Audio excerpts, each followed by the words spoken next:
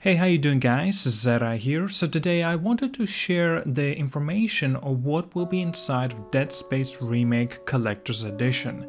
So I want to clarify that this is actually quite an expensive version that you can definitely pick up, but also to clarify this was actually confirmed in the notes on the official website page if you want to pick up this collector's edition that you may not be able to receive this collector's edition on day one of the release of Dead Space Remake. And as such unfortunately you may have to wait a day or two a week a month later. We do not have an official date but rest assured you will get a game of the standard edition the you know the physical copy of the game game uh, on the day of release when it does well deliver to your front doorstep. So it kind of sucks to be honest with you as well but uh, they just wanted to clarify this. They got a note in here i can read it out for you.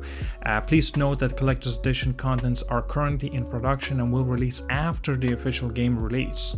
The physical copy standard edition of dead space included in this release will ship separately on the game's official release date. Here we go. Shipping updates will be sent to you via the email through our monthly digital digest blog and will be visible on our account page. All orders are considered final and cannot be cancelled. So yeah, you're gonna have to dive all in if you want to pick up this edition. So let's get in what everything does it include inside. Like I mentioned, the physical copy of Dead Space Standard Edition for the PlayStation 5, again Xbox Series X or the PC. This will not be uh, available on PlayStation 4 or Xbox One guys as well. Now, this will include a digital deluxe content, including a 5 exclusive cosmetics, 3 unique suits and 2 suits textures. These are the unique suits of the Infested, Lone Survivor, and Vintage, and the suit textures are Sanctified and Bloody. Now, Dead Space Collector's Box, of course, Isaac Helmet as a full-size wearable helmet with working lights.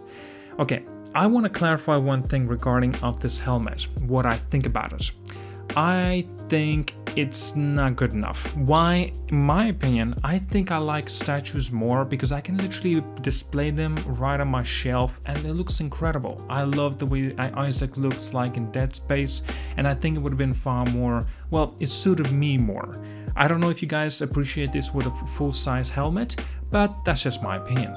Okay, so extra things that it will include it is the Dead Space CD soundtrack, a lithogram print, foil stamped lithograph folio, four mini posters, Ishimura patch, marker enamel pen, metal 4-inch marker statue, and Dead Space steelbook.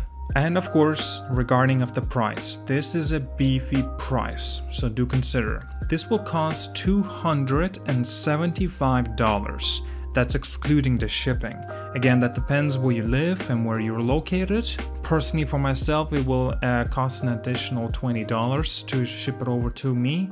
So basically, it's safer to say maybe $300 for a lot of you guys. So do let me know, are you gonna be picking up this collector's edition of Dead Space or perhaps you're not gonna go with it? Okay, I will be honest, no. I will not be getting this collector's edition. Number one, I don't think it's worth the money. And also, like I said, the statue is not for me being that a wearable helmet. I personally want a, a statue itself of Isaac. Alright, like and subscribe, see you guys all later, and have a wonderful day.